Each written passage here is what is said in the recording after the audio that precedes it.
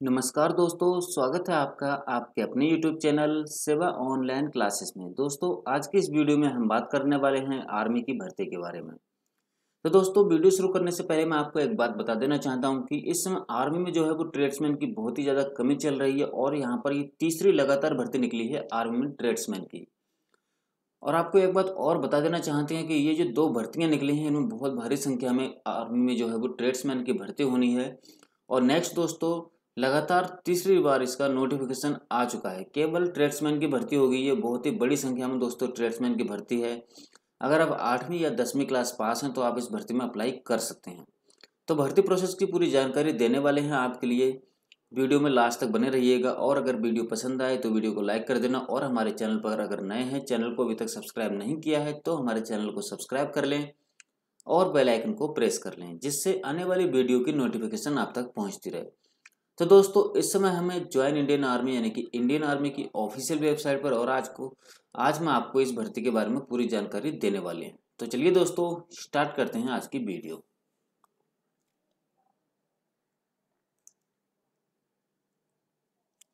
यहाँ पर दोस्तों क्लिक कर लेते हैं और देखते हैं कि आज ये जो भर्ती है वो कहाँ पर निकली हुई है, इसकी हम जो नोटिफिकेशन है उसको भी हम डाउनलोड कर लेते हैं दोस्तों। नोटिफिकेशन डाउनलोड कर ली। सबसे पहले मैं आपके लिए दोस्तों बताऊँगा कि यहाँ पर कौन कौन से पद के लिए क्या क्या चीज़ की रिक्वायरमेंट होगी। पूरी जानकारी आपको देने वाले हैं। तो आप देख सकते हैं दोस्तों, यहाँ पे सोल्जर ट्रेड्समैन टेंथ पास ठीक है? तो सोल्जर ट्रेड्समैन टेंथ पास और एट पास में अंतर क्या होता है, अब मैं आपको बता देना चाहता हूँ।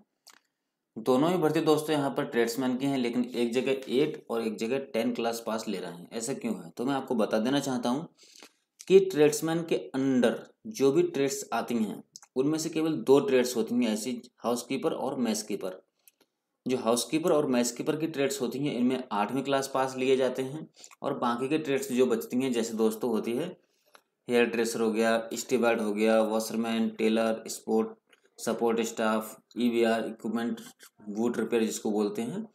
तो बाकी जितनी भी ट्रेड्स हैं दोस्तों, उनमें टेंथ पास लिया जाता है। केवल हाउसकीपर और मैस कीपर में अगर आप आठवीं क्लास पास हैं तो भर्ती हो सकते हैं। इंडियन आर्मी इस समय एक ऐसी जॉब है जिसमें केवल आज की डेट में भी आठवीं पास युवाओं को भर्ती किया जा रहा है, ठीक है? तो यहाँ पर दोस्तों हम आपसे बात कर लेते हैं।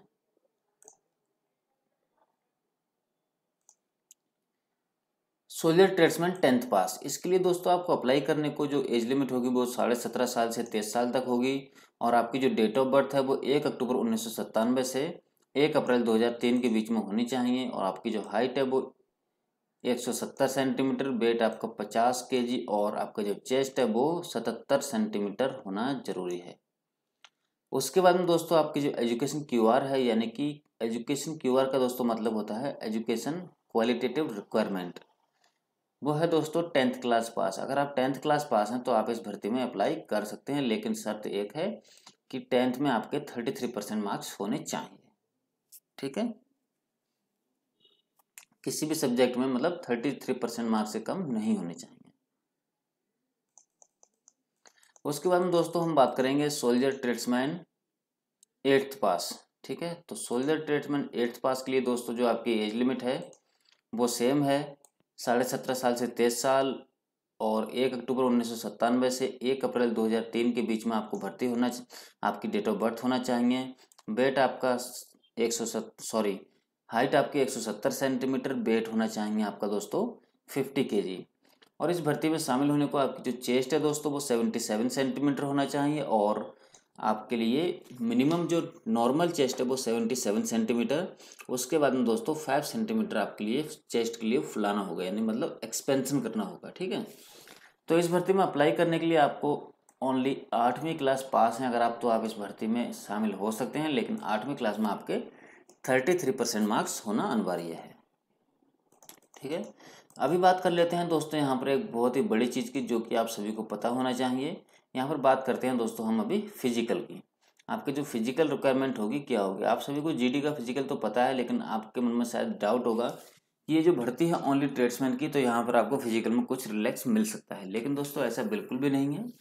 जीडी और ट्रेड्समैन का जो फ़िज़िकल होता है, बिल्कुल ही सेम होता है तो यहाँ पर कोई भी डिस्काउंट आपके लिए नहीं दिया जा रहा है। लेकिन फिर भी मैं आपके लिए फ़िज़िकल के बारे में पूरी जानकारी दे देता हूँ। वन पॉइंट सिक्स किलोमीटर की रनिंग होगी, उसके बाद में आपके चिनअप्स होंगे, उसके बाद में आपका नाइन फिट डिच होगा, उसके बाद में आपका होगा जिग जैग बैलेंस। तो वन पॉइंट सिक्स किलोमीटर की रनिंग के लिए आपको दोस्तों पाँच मिनट तीस सेकंड तक का टाइम मिलेगा। अगर आप पाँच मिनट तीस सेकंड तक आप पास कर देते हैं तो आपको ग्रुप वन में दिया जाएगा। और ग्रुप वन है दोस्तों सिक्सटी नंबर का तो आपको पूरे सिक्सटी नंबर दे दिए जाएँगे। उसके बाद में पाँच मिनट इकतीस सेकंड से पाँच मिनट पैंतालीस सेकंड तक अगर आपने यही रेस को पास की तो आपको दिए जाएँगे दोस्तों फोर्टी एट मार्क्स, ठीक है?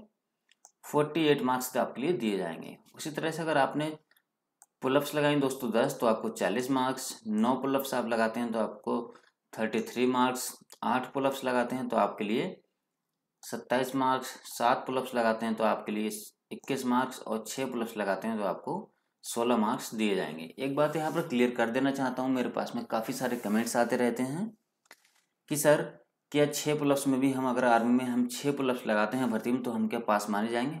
ऑफकोर्स दोस्तों बिल्कुल आप पास माने जाएँगे। इसमें कोई भी डाउट नहीं है क्योंकि यहाँ पर क्या है नंबर आपको सम, आप खुद ही देख रहे हैं स्क्रीन पे कि आपके लिए हर हर मतलब पुलअप्स का नंबर दिया गया है ठीक है?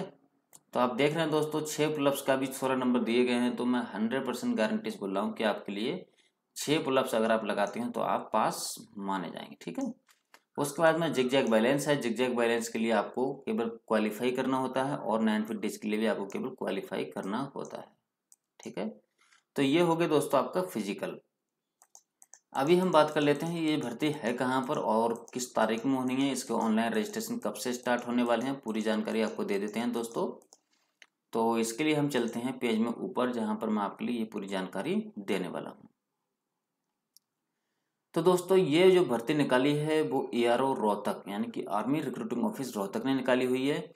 और ये जो भर्ती है दोस्तों, वो राव तुलाराम स्टेडियम, रेवाड़ी, हरियाणा में होनी है, ठीक है? और इस भर्ती में दोस्तों, जो ऑनलाइन एप्लीकेशन हैं आपके, वो तीन अक्टूबर से सोलह नवंबर 2020 के बीच में आप अप्लाई कर सकते हैं, ठीक है?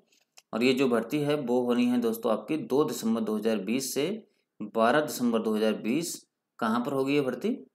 राव तुलाराम स्टेडियम, रेवाड़ी, ठीक है? तो यहाँ पर दोस्तों इसका भर्ती की टाइमिंग बिल्कुल कंफर्म दिया गया है दोस्तों। दो दिसंबर से बारह दिसंबर तक आपकी भर्ती राव तुलाराम स्टेडियम, रेवाड़ी में होनी है। और यहाँ पर जो आपके ऑनलाइन रजिस्ट्रेशन हैं वो तीन अक्टूबर 2020 से 16 नवंबर 2020 तक चलेंगे। उसके बाद में आपके जो है 17 नवंबर से ऑनलाइन एप्लीकेशन जिन्होंने फिलअप किए होंगे, उनके एडमिट कार्ड आने शुरू हो जाएँगे। ठीक है? तो आज की वीडियो में बस इतना ही था दोस्तों। वीडियो कैसी लगी कमेंट करके ज़रूर बता देना और अगर वीडियो पसंद आए तो वीडियो को लाइक करना और हमारे YouTube channel Seva online classes को सब्सक्राइब ज़रूर करना। तो चलिए दोस्तों, कल फिर मिलेंगे एक नई वीडियो के साथ में। तब तक के लिए नमस्कार। जय हिंद, जय भारत।